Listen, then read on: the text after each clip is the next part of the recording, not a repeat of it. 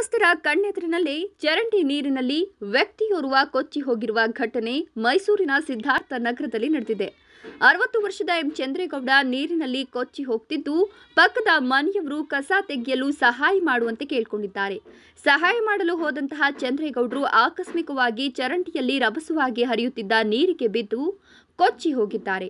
ಇನ್ನು ಅಗ್ನಿಶಾಮಕ ದಳದ ಸಿಬ್ಬಂದಿಗೆ ಕೂಡಲೇ ವಿಷಯವನ್ನ ಮುಟ್ಟಿಸಿದಾದರೂ ಸ್ಥಳಕ್ಕೆ ಧಾವಿಸಿದ ಸಿಬ್ಬಂದಿಗಳು ಚಂದ್ರೇಗೌಡ ಪತ್ತೆಗೆ ಶೋಧನೆ ನಡೆಸಿದ್ದಾರೆ.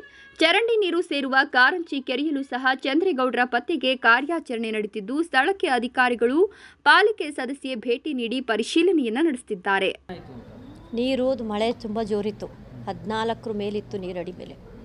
ನಮ್ಮ ಮನೆ ಎರಡು ಮಳೆ ಮೆಟ್ಲು ತುಂಬ್ಕೊಂಬಿಟ್ಟಿತ್ತು.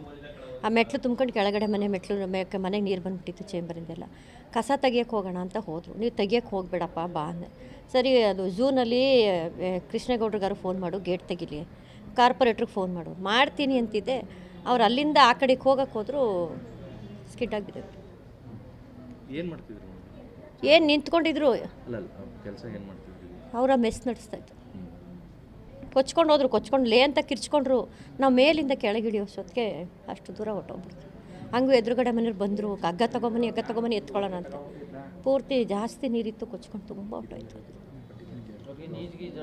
ಬರಲ್ತಿರ್ಲಿಲ್ಲಪ್ಪ ನೀಜಾಡಕ್ಕೆ ಬರಲ್ಲ.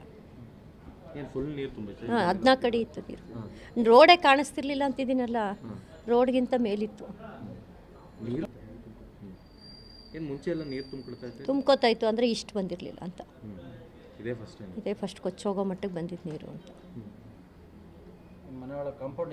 ನೀ ಕಾಂಪೌಂಡ್ ಪೂರ್ತಿ ಮುಕ್ಕಾಲು ಕಾಂಪೌಂಡ್ ಬಂದ್ಬಿಟ್ಟಿತ್ತು ನೀರು.